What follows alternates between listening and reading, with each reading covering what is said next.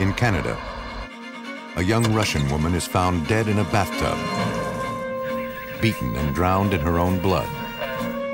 Men fell victim to her charms, and police find at least three suspects with the means and motive to commit the crime. In New Jersey, a woman disappears without a trace. For years, police trail her husband and search for a mysterious box, the gruesome contents of which may prove his guilt.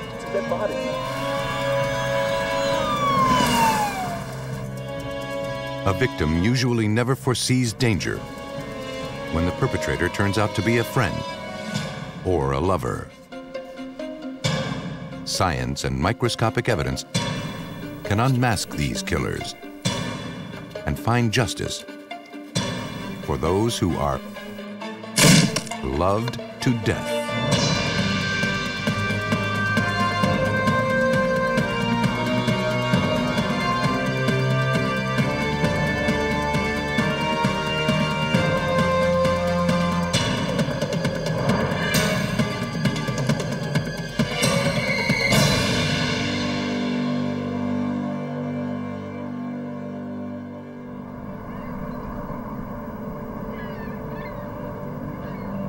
In this program, some of the names of the participants have been changed to protect their identity.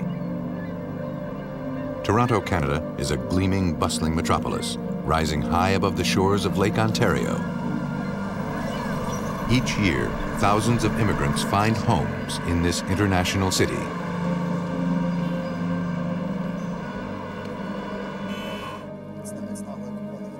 For some, the journey leads only to danger and heartbreak. On January 12, 1995, Mark Milligan and Gilbert Ho arrived at the home of a friend, a 23-year-old woman named Paulina Gerasimov. Paulina had been missing for days, and her friends convinced the building superintendent to let them in. Her door was unlocked. The apartment was neat, clean, and eerily quiet. Gilbert Ho went to check the bedroom. And there he made a shocking discovery. The room was in disarray, the bed spattered with blood. It was a horrific, violent scene. But in the bathroom was something more brutal. In the bathtub lay a woman's body, submerged in bloody water. The skull had been shattered.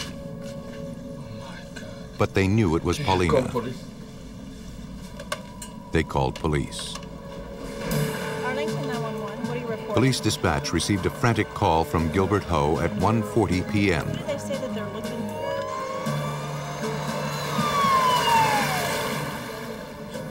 for? Detective Sergeant Ken Taylor of the Toronto Police Homicide Squad was assigned the case with his partner, Detective Sergeant Mike Hamill. The witnesses were asked to give statements at police headquarters. Ken Taylor recalls the scene. When we first arrived at the scene, we took a quick look just to get get an idea as to what we would be dealing with. The door was open, and uh, as I turned to the left, the bathroom is on the left as you're looking in the apartment. I could see the uh, a female uh, lying in the bathtub. The door to the uh, to the patio or to the uh, balcony was open about six inches. It was a cold night, uh, and it had been cold for a number of days, so that's why the, the apartment was so cold. Investigators found a dog, which they removed from the premises. Detective Sergeant Mike Hamill. The dog, the dog even was eating out of the dog food. Whoever did this uh, cared about her dog. There was some water in the uh, in a dish on the floor as well, and I suspect the uh, balcony door was left open for the dog to go be able to go outside. That's pretty interesting. Nobody broke in, so that suggests to us as homicide investigators that she knew who the killer was, and that the killer uh, either let himself in or she let the killer in. The bedroom had clearly seen the greatest share of violence. Blood was spattered on pillows, sheets, and up the wall. Though their victim was found in the tub, she was clearly beaten here and savagely. detectives spotted a curious ring of dried blood, which indicated that something had been placed atop the dresser during or after the crime. They later found a cup of the same size in the bathroom. Police theorized that while the killer was cleaning up after the murder, he'd made himself a cup of tea. Whoever it was was comfortable in the apartment, probably knew that nobody else would be coming, and he had plenty of time to clean up. Toronto police detective Richard Wisnowski of the Forensic Identification Services was dispatched to the apartment that afternoon. The victim appeared to have been dead for several days. The first thing that I did was to photograph all the rooms in detail and then to start collecting any evidence that might prove useful to the investigation. Under the body in the bathtub, I found a hammer, which was most likely the murder weapon. The detective also observed disinfectant cleanser in the bath. This was a unique crime scene that I have not encountered very often in the fact that there was the brutality of the murder and the condition that the body was left in. Throughout the bathroom, Detective Wisnowski dusted for prints. If it was a stranger to stranger homicide, then fingerprints and any evidence left in the apartment would be very important. In the living room, he collected an answering machine tape, which could also help clarify time of death. But it was the signs of violence in the bedroom that seemed the most perplexing. The drawers of the dresser were open and clothes were scattered around, but it appeared that nothing of value was taken. It wasn't a true robbery in the sense what I've experienced in the past. It looks like it was a staged incident and it was a cover up for the the true intention was to commit the murder. At police headquarters, detectives took statements from Paulina's two friends who had discovered her body. Mark Milligan had grown concerned when she wasn't answering her phone So and had missed class for several days. Yes. Um, did that today. Paulina, he explained, was an art student at a local university. Decided to go.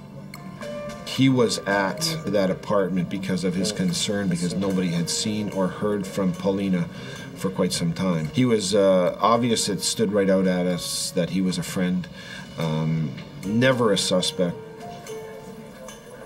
Gilbert Ho was a boss of Paulina's at a bar where they worked in downtown Toronto.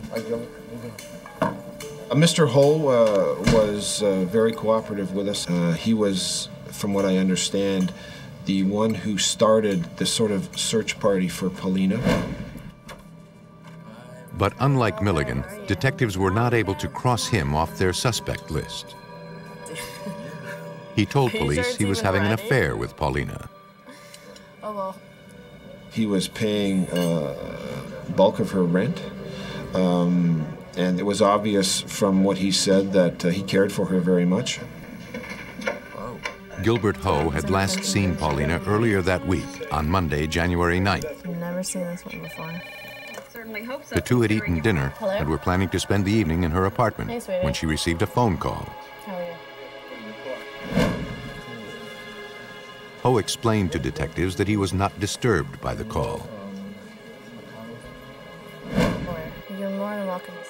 Paulina was very pretty, and he'd long ago accepted the fact that she had many men in her life. You sure? Yeah. Yeah? She asked Ho to leave around 1.30 in the morning. I'll see you later. He assumed she was expecting another guest.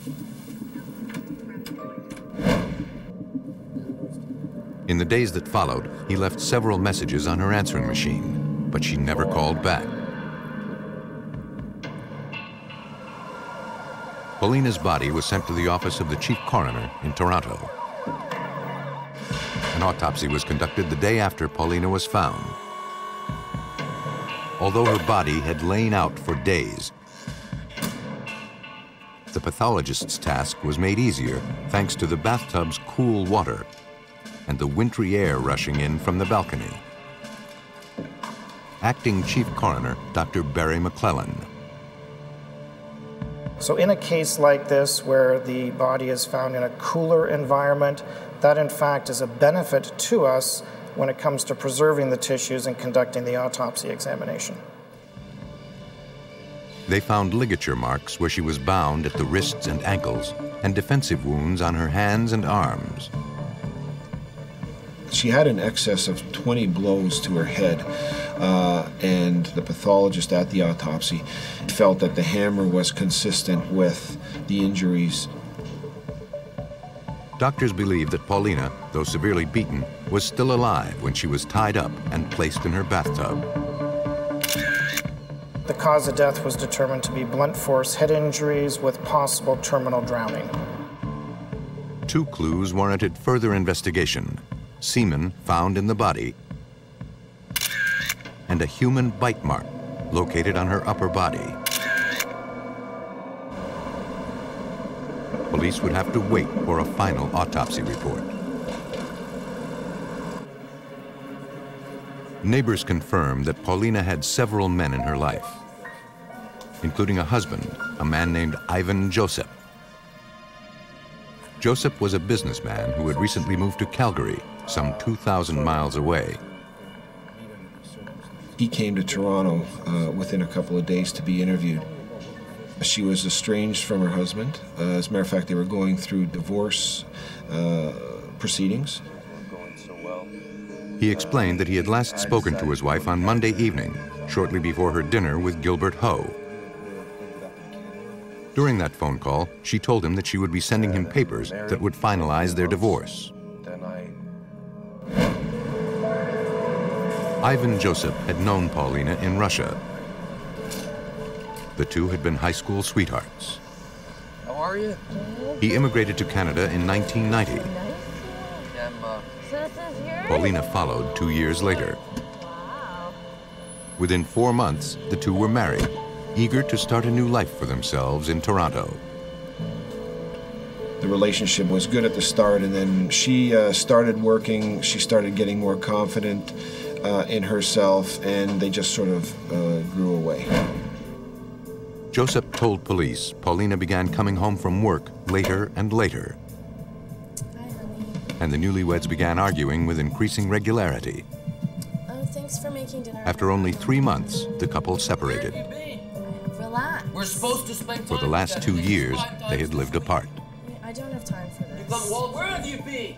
Ivan Joseph insisted that he and Paulina had remained friends. Lady, who have you been with tonight? I was out with my girlfriends. I had errands to run. For work. We can talk. Police, however, were suspicious. We live together. We're supposed you don't even care. Her husband was was in Calgary at the time, but that doesn't mean that he couldn't have arranged uh, something here for her. That nobody heard from her after this particular day was suspicious to us.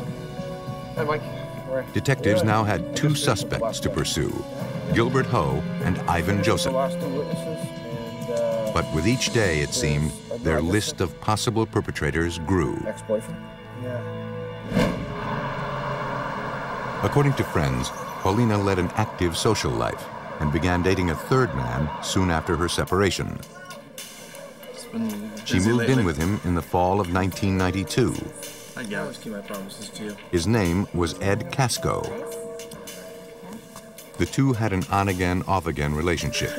After an argument, she eventually moved out in the summer of 94, five months before her death. Detectives were eager to learn more about this man and called him in for questioning. Like their other suspects, Casco was cooperative and seemed affected by Paulina's death. Though she'd left him and moved into the apartment provided by Gilbert Ho, the two still saw each other on occasion. Was it, were you sure it was Friday and that? Casco admitted meeting her on Friday, January 6th. He slept with her that night and left the next day. We go inside. So you, at one point you Detectives recalled Gilbert Ho's statement about a late night guest Paulina was expecting. But Casco denied coming over to see her late on Monday night, January 9th, the last day Paulina was seen alive. Police now had to eliminate two of the three suspects. They looked to Paulina's body for clues as to which of the men who loved her killed her.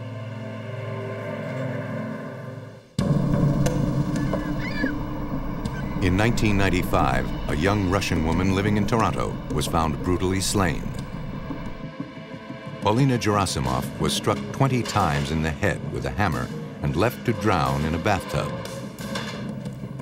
Three men, all current or former lovers, were under suspicion. Detective Mike Hamill. It's a process of elimination. You, you start off with uh, a number of suspects, but the, the, the quicker you eliminate the, the less important suspects, the more time you will have to focus on your number one suspect. Investigators turned to Ron LeBlanc, hoping to gain a better understanding of their victim. Thanks. LeBlanc was the owner of a Toronto bar where the victim had worked. Gilbert Ho also worked at the bar.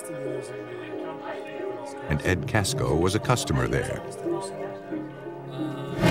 Just about the beer. Gilbert Ho was our bar manager at the time. He was so distracted with her in every which way that he grew just progressively inefficient. So you're hearing what I'm saying? He started to spiral out of control because he could not concentrate anymore.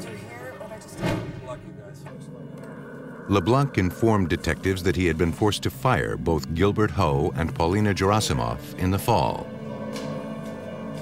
Their trip to the bar left detectives with more questions than answers. I can't think of any reasons why anyone would want to kill her. She was a fun-loving, uh, easy person. Uh, she got along with everybody. She had no enemies in the world. Detectives hoped her body could point them in the right direction. At the coroner's office, Dr. Robert Wood made a mold of the bite mark on the victim's body, pouring a quick-drying silicone-based cast onto the wound. That is flowed over the skin, Uh, and then multiple layers are put on and allowed to set. We use this material in, in conventional dentistry, and it is extremely accurate. The bite mark impression was like a three-dimensional fingerprint with unique characteristics that could ID a killer. The next step was to compare the bite radius of each suspect. Detectives asked each man to come to police headquarters and meet with a dentist. That would, in our opinion at that time, rule these people in, rule them out. Just open for me. Doctors took skin cells for DNA comparison and made models of each man's teeth. Now that can be done by any dentist, but I prefer to do the impressions when I can myself. And that impression making process is essentially identical to anything that anyone would have done in private general dental practice. And we will also just look to see if there are any loose teeth, recently extracted teeth, teeth that have been possibly altered, just to make sure that there hasn't been anything done in order to disguise uh, a dentition. While Wood created his dental molds, forensic biologist Dr. Susan Kern analyzed DNA. When we do the analysis, we have a known sample from uh, the victim, we have a known sample from an accused or suspect, and then we have our unknown sample. We would do the profile for all, all of those samples and then look between them and see where we have similarities and where we have differences. Kern compared samples from each suspect to DNA taken from the semen found in the victim. She examined the DNA provided by Paulina's husband, Ivan Joseph, comparing it to the sample found at the autopsy. After there was no match, she repeated the procedure with Gilbert Ho's DNA sample. Once again, there was no match. A third chart, and the same intricate patterns painstakingly traced. And there it was, two charts, their patterns in perfect alignment. It was Ed Casco, her longtime boyfriend. The ex-boyfriend seemed to be, at the time of her death, very much involved with her. Casco admitted to police that he and Paulina had quarreled on the phone Sunday, two days after he had last seen her. Results from the dental molds offered detectives another break in the case. Hello, Ken. I'll send along a report. After a meticulous comparison, Dr. Wood relayed his findings to police. In bite mark analysis, often we will rule people out as well as rule them in. In this case, two people could be definitely ruled out, and one could not be ruled out.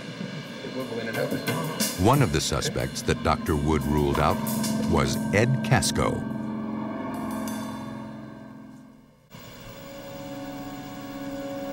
In 1995, Toronto police investigating the brutal death of a young Russian woman had narrowed their field of suspects to two.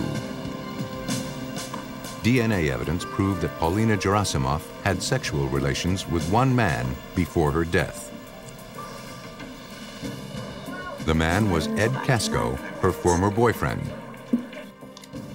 Teeth specialist Dr. Robert Wood had ruled out Ed Casco as a suspect. But violent bite marks on the victim matched another suspect, Gilbert Ho. But we needed something more that would that would link Mr. Ho to the actual murder, to the body. Financial records strengthened their case. Ho, who'd been fired from his job, was still paying Paulina's rent. Unemployed, he'd been bouncing checks for months. Mr. Ho, have a seat right there, please. Okay. Hi. Yeah, you remember Detective Sergeant So he came down to uh, to the division, and uh, we began interviewing him. We told him, as a matter of fact, that we believed, our, us as investigators, believed you, Mr. Ho, killed Paulina. Detectives began their questioning by playing messages from the answering machine tape found in Paulina's apartment. The day after her murder, Ho had left several messages. Despite knowing the rent was not paid and she was to be evicted from the apartment, he spoke of getting together with her and buying her groceries. Mm, okay, talk to you later. He makes several phone calls to her on her answering machine, probably to try and put us off because he calls, Hi, Princess, it's Tuesday. Uh, where have you been? I miss you. Police believed that Ho expected Paulina's body would be found that day by police officers coming to evict her. But they never showed up. He knew that Paulina's body was in the bathtub. Ho also knew he had no money and had not paid rent on the apartment in months. Detectives confronted him with the state of his finances and asked him to explain the strange contradictions in his story. But he could not. They moved on to a more incriminating piece of evidence, the bite mark. Again, he had no explanation and denied having committed the act. The final autopsy report provided the final piece of the puzzle. Well, hopefully it'll be good. Stomach contents found at autopsy indicated that the victim had died about one hour after eating dinner on Monday, January 9th. It's our belief, as a result of the uh, stomach contents, that she was killed sometime around her supper time. The uh, dinner that she was going to have was consistent with what we found at autopsy, and those kind of things, they don't lie. That's fact, that's evidence. She has broccoli, full piece of broccoli in her stomach. She has a full piece of carrot in her stomach. That's evidence. That doesn't go away. So couple that with Mr. Ho's statement from that he was with her and nobody else was with her from 1:30 p.m. to 1:30 a.m. It was obvious to me that Mr. Ho killed Paulina. There remained one unanswered question. If Ho killed Paulina, then how could Ed Casco's semen still be inside the victim? Dr. Susan Kern turned to semen viability studies for answers. Semen can be typed up to approximately seven days. This case, the samples were collected additional days after that, and that would have been due to the fact that her body was in a very cold environment. Case occurred in the winter. The door was open, the washroom would be cold where she was found, and the temperature would be number one in slowing down any decomposition of the biological material. Okay, Mr. Ho. Detectives finally had their man. Okay, just want to close my Gilbert Ho was arrested and charged with first degree murder. According to the landlord, Ho had been informed that his tenant would be evicted on January 10th. Police theorized that he never told Paulina, hoping to maintain her affections as long as possible. It was a strategy doomed to failure. Ho had run through his savings. On January 9th, with only hours to go before her eviction, Ho showed up at the apartment Hi, Gilbert. for one last night. How are you? Oh, great. It's my position that she had no idea that morning that she was going to be evicted because nothing was packed. If she knew she was going to be evicted, you would have thought she's a responsible girl. She would have packed a bag. She wouldn't have just allowed the sheriff to come in, throw everything in garbage bags, and throw it out on the street. Ho did not leave the apartment as he testified to police. And Paulina was expecting no late night guest. Gilbert Ho was the last man who saw her alive.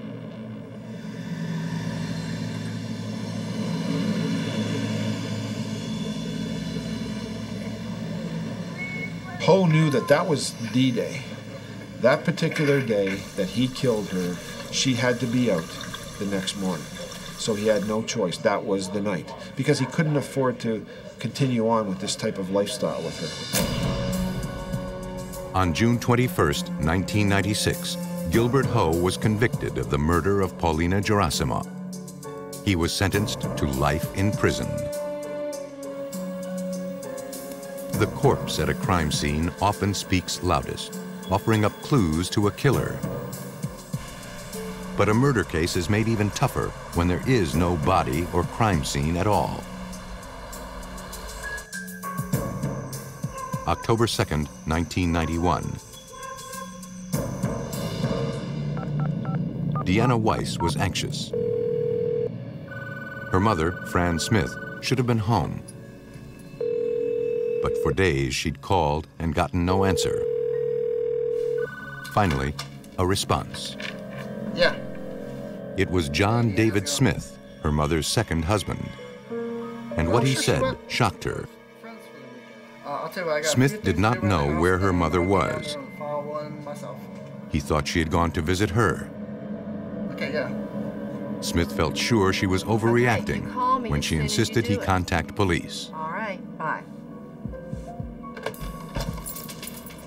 He reluctantly agreed.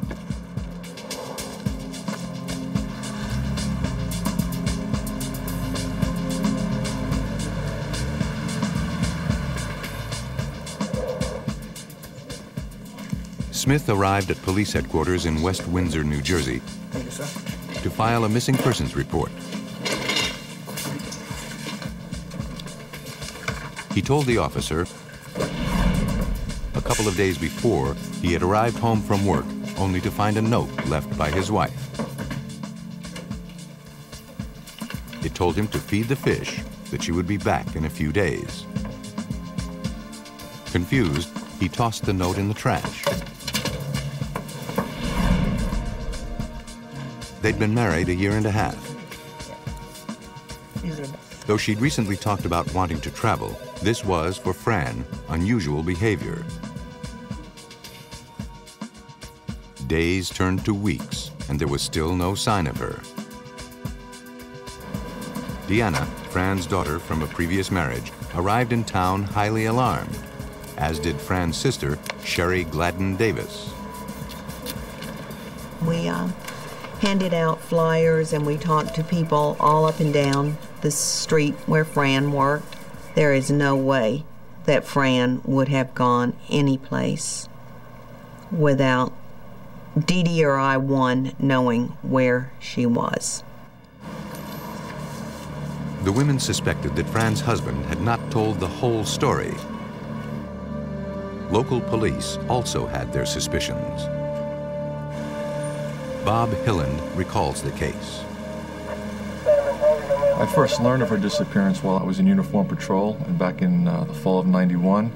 During roll call, we learned that uh, a woman in our town named Fran Smith was missing and to be on the lookout for her. According to friends and relatives, Fran was a friendly, stable woman who worked as an executive secretary. Her husband was, by all accounts, a quiet, hard-working engineer with a penchant for sports cars. Lead detective Mike Dansbury interviewed Smith several times in the months following the disappearance.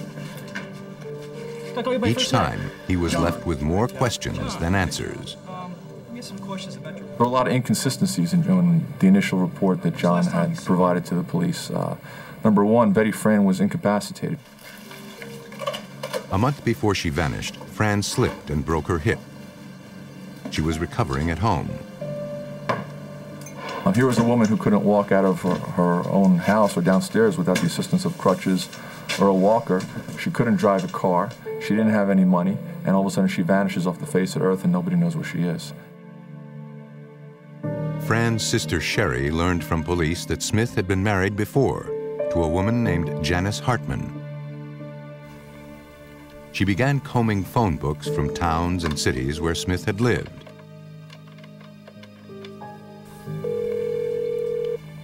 After dialing countless numbers, Sherry located Janice's brother. said, um, what's this about? And uh, I said, I understand your sister was married to John Smith. And he said, yes. And I said, well, so was my sister, and she's missing. His response was shattering. Um. My sister's been missing since November of 1974. New Jersey detectives immediately contacted the police in Wooster, Ohio, where the earlier disappearance occurred. Detectives hunted out the old case files and found it bore a striking resemblance to the current mystery. 17 years before his second wife went missing, John Smith was the prime suspect in the disappearance of his first wife. She vanished days after their divorce became final. Her family blamed Smith, but prosecutors had no proof, and he eventually left the state. The woman's body was never found. Law enforcement's attentions were raised significantly when it was learned uh, that John had been married to another woman in Ohio. That would be Janice Hartman Smith in 1974, and she had disappeared under very similar circumstances. Then everybody became very concerned. What are we, what are we dealing with here? More than a decade earlier, the Janice Hartman Smith case had gone cold. Now detectives had the Fran Smith case, and once again, the trail had gone cold.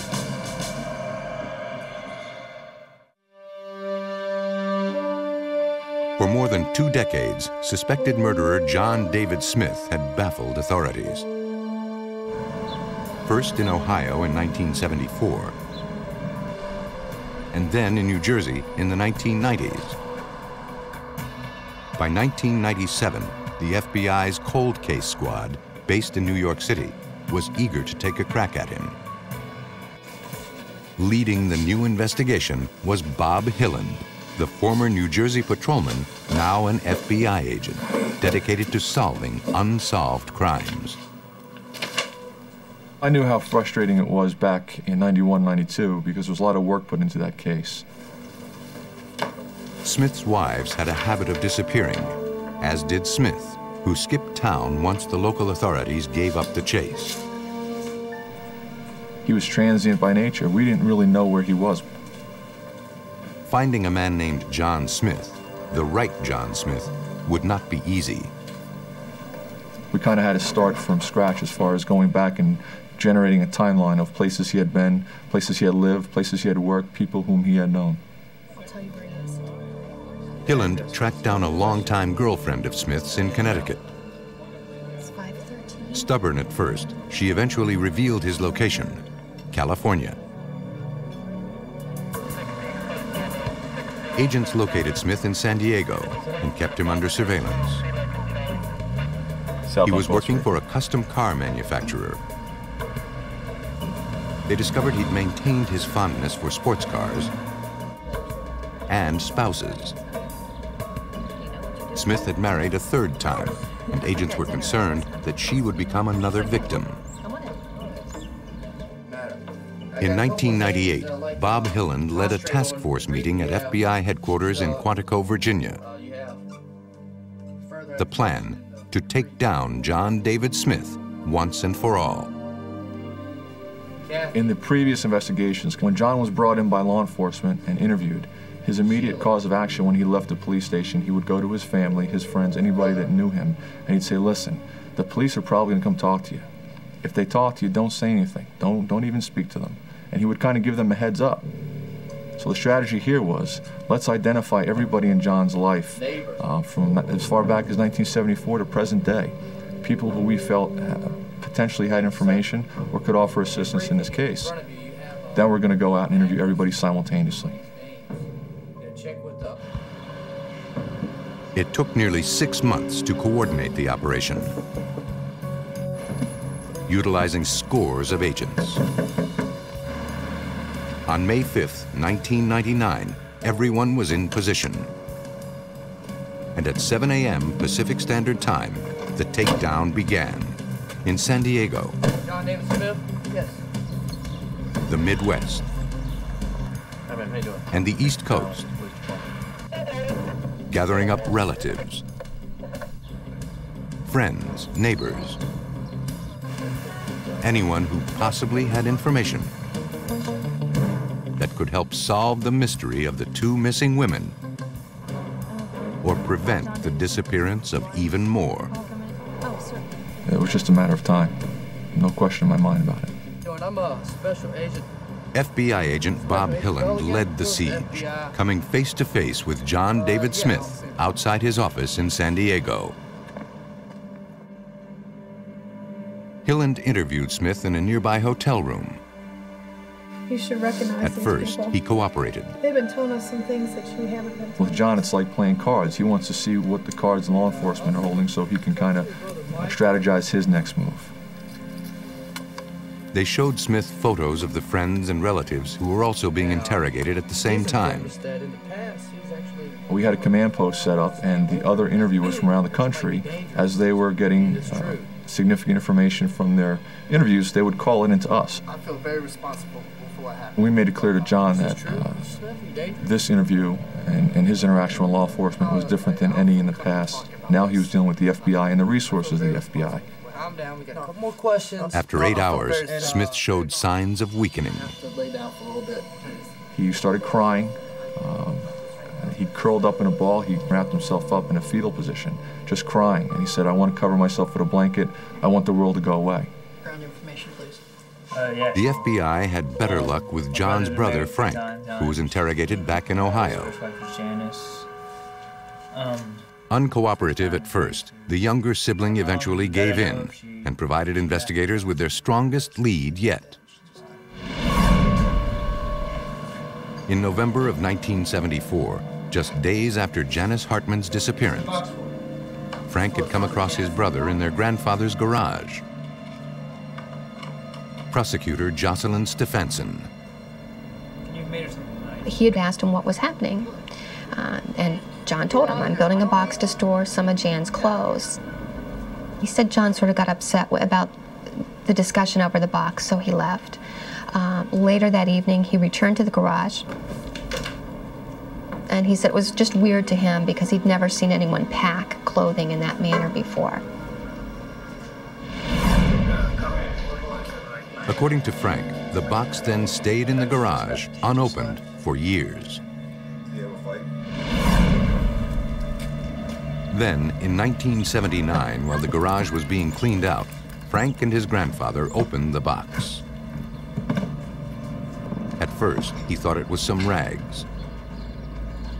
A closer inspection, however, revealed kneecaps, severed limbs, a partially decomposed skull. There was also jewelry, including a gold chain with a crucifix.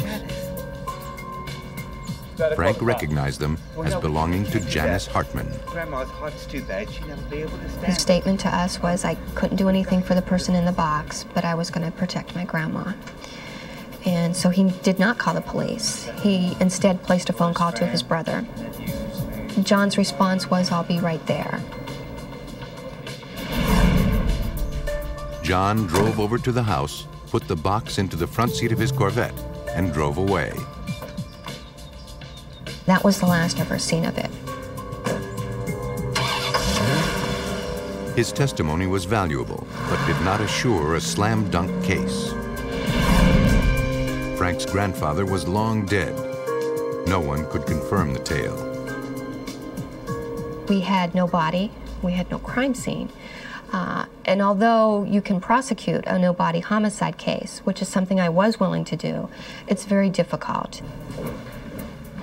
The FBI searched the property in the area that had once been owned by John Smith or his family. They found no box. I know that box exists, now we gotta find the box. How do we find the box? It's a proverbial needle in a haystack. Time was running out. With each passing year, the body, wherever it lay, was decomposing. And evidence that could put John David Smith away for murder was literally turning to dust. In February 2000, FBI officials suspected John David Smith of murder and believed a mysterious box could prove it. In search of the box, Ohio detectives drafted a memo and sent it to law enforcement agencies across the state and neighboring counties in Indiana and Michigan. It was a desperate gambit. Made of plywood and crudely constructed, the box had last been seen in 1979.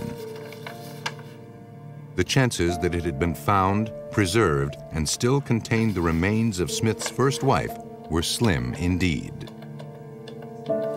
For detectives in Newton County, Indiana, however, the memo triggered a memory. Newton County Sheriff's Department. He immediately calls the Wayne County Sheriff's Office and says, uh, uh, Brian, I think I've got your girl. One detective recalled a case from 1980 when he was a young deputy sheriff. A road crew working on a rural county highway had discovered a plywood box. Inside the box, the dismembered remains of a female body. the body was never identified. Locals around town merely called her the lady in the box. Just by good luck, they still had all the original evidence uh, still in evidence storage. They had the box, they had the contents, they had her, her jewelry, her crucifix, everything described in the box they had. They had buried her remains in a, in a Jane Doe grave. So she was out in the cemetery. Um, the next step was we have to go to the cemetery and exhume her body.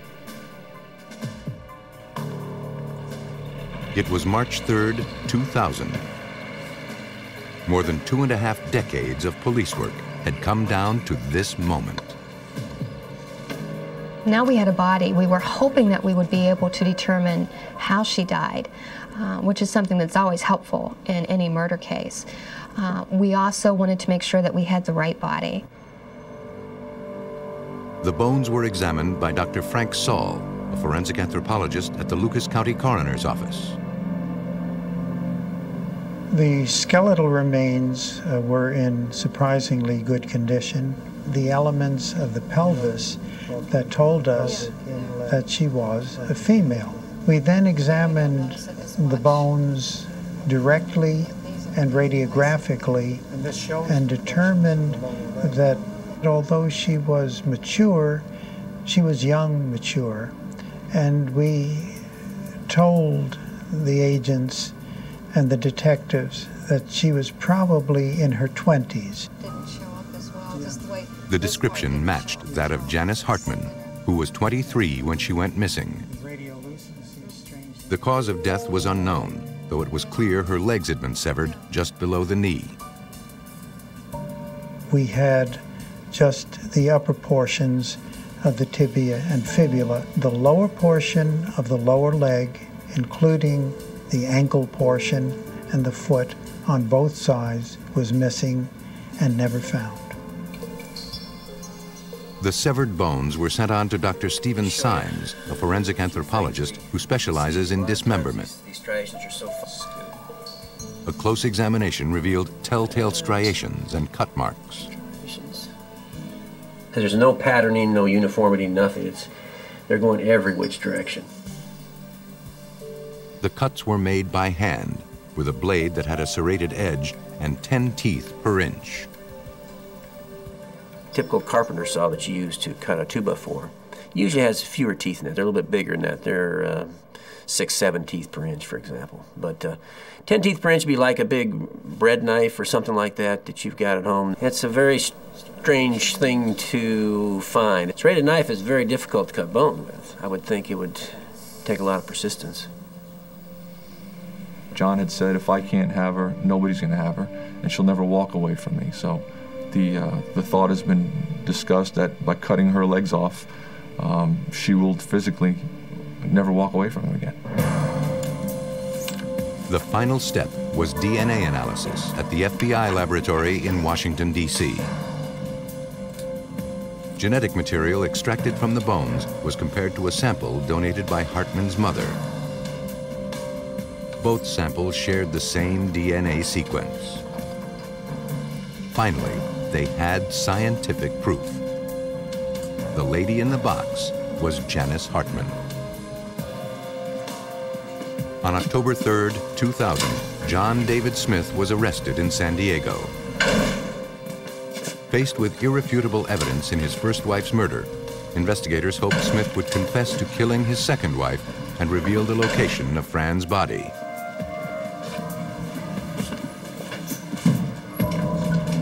But Smith refused to talk.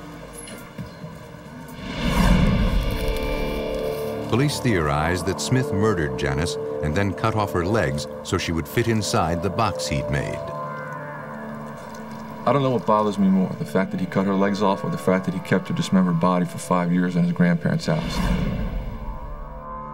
John's brother Frank received immunity for his testimony. This secret nearly destroyed him.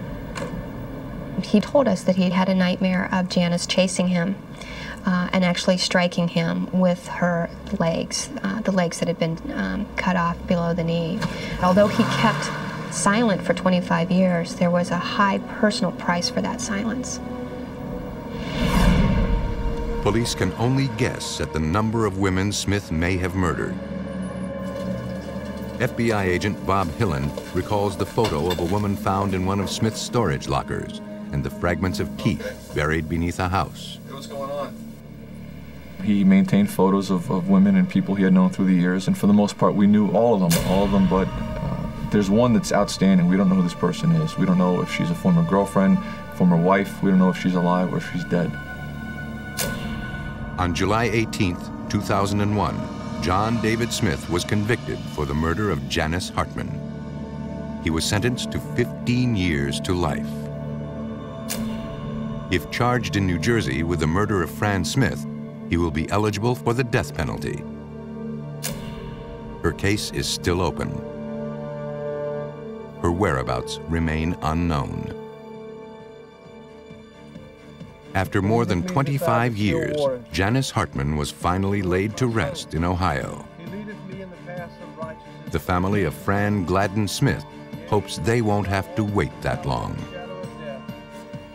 A victim often has no warning when a loved one turns predator and the game is murder. But with the aid of microscopes, computers, and dogged police work, investigators can bring to justice those loved to death.